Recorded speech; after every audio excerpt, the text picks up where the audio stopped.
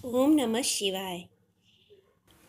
सावन का महीना चल रहा है भक्तों तो इससे पहले मैं आपके साथ सिंधी में गोगड़े की कथा, यानी कि नाग पंचमी की कथा जो है शेयर कर चुकी हूँ।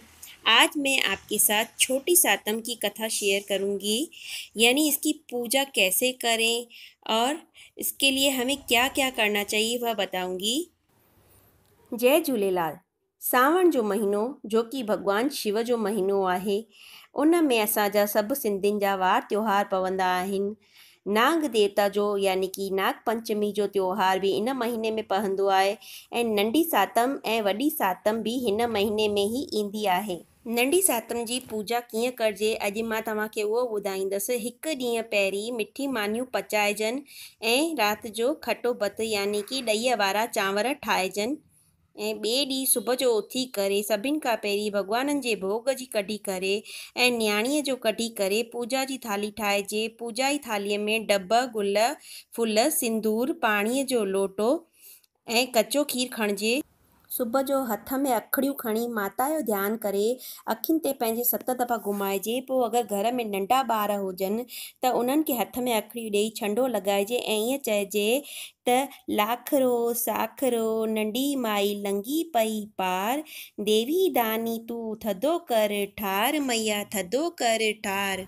पंहिंजी अखियुनि में अग्नि तत्व हूंदो आहे ऐं इहा अखड़ियूं अखियुनि खे थधो कंदियूं उन खां पोइ तव्हां वटि अगरि चांदीअ जी शीतला माता हुजे या का चांदी जी चैन हुजे, या सोनो मंगलसूत्र या का सोने जी चैन, उहो बि गॾु खणिजे उनखे पाणीअ जे लोटे में विझिजे ऐं डब बि विझजनि ऐं उहे अखड़ियूं ऐं अखो सभु विझी करे, मिठी मानीअ जो टुकड़ो विझी करे पूॼा कजे।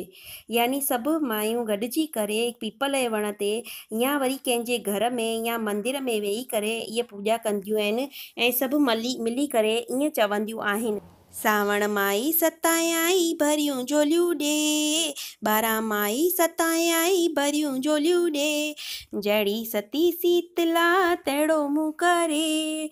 सतीअ ॼावा सत पुट, सतई मुगर स्वाइन। नीलीअ गोड़ीअ जो चढ़े तो सतीअ जो कायम। ॾुध पुट लक्ष्मी रोजी ॾींदो राम। पुट खटी घरु आया। भाउ कुंगुअ लाथम कपिड़ा मानियूं थी पचायां। सती ओड़े, सती पाड़े, सती मुंहिंजे घर आई। ईअं चई करे सभई माताऊं गॾिजी करे सत दफ़ा ईअं चवनि, ऐं उन पलो पाइनि ऐं भुल बख़्शाइनि। त इन ॾींहुं असांजी माताऊं, भेनरूं पते रांदि रहंदियूं आहिनि घर में जे कम माँ फ्री रहंदियूं त तव्हांखे मुझी इहा नंढी सताए की पूजा की विधि कीअं लगी मूंखे कमेंट बॉक्स में ज़रूर ॿुधाइजो। धन्यवाद।